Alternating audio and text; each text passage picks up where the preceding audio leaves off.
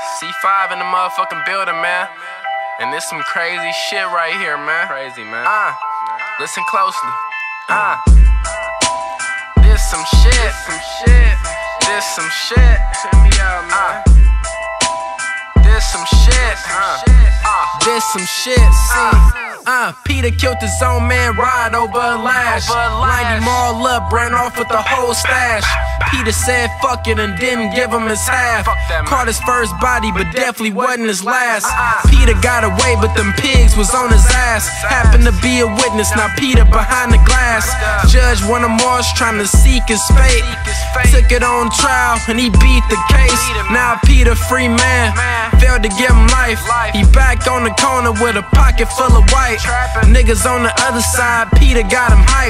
But he ain't even tripping, he just glad he got a stripe. But Lord Peter here, he started a war. Time passed by, niggas chalking his boys. But don't get it wrong, he murking shit too. Him and his right hand man, they call him Lil Stu. And him and Lil Stu, they was really eating. Running raw, had different cars every weekend. Taylor syrup, always leaning. Niggas having fun and shit, but they was still scheming. But Stu was a little different, seeing confident and cocky. Peter wanted money, Stu wanted bodies. Few on this belt, now they can't take it no further. Cause Stu was wildin' out and got convicted for murder. Now Peter on his own, gripping on his chrome. Stuck in the world of sin, he feeling all alone. He missed Lil Stu, but he still been in blocks till sucker seen him reeking, bounced out, sending shots. Peter in shock, could tell he surprised. They hit him six times, but Peter survived. Told himself he gon' lay low for a while.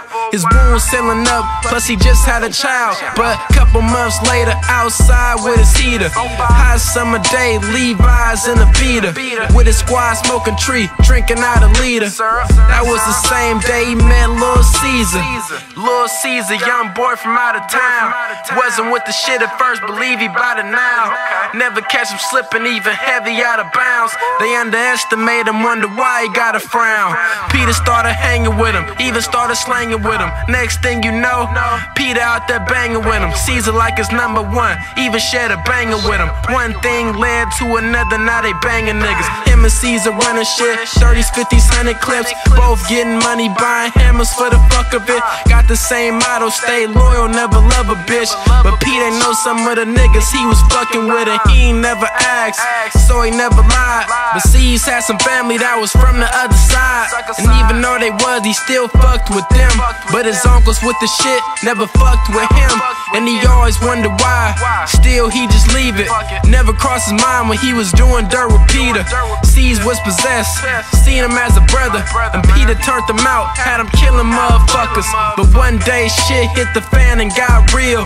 P was telling C's about the niggas that he killed. Told him every detail.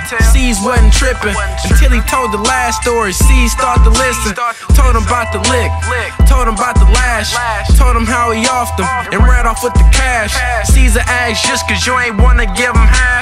Peter said, yeah, lil' bruh, I was doing bad. Caesar said, damn. Asked him what's his name. Peter looked down, he ain't say a thing. Caesar just waited, asked him one more time. Peter looked up and said the nigga name was Rod. Uh, Ah. all of a sudden, C's looking shocked. C start buzzing. Peter said what's wrong.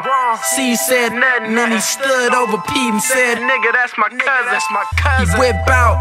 P looking scared. C's cock it back, put the pistol to his head. P stunned, thinking all the shit he ever did. Then C's let it go, split his motherfucking wig. Flatline, nigga. It's a rap, man.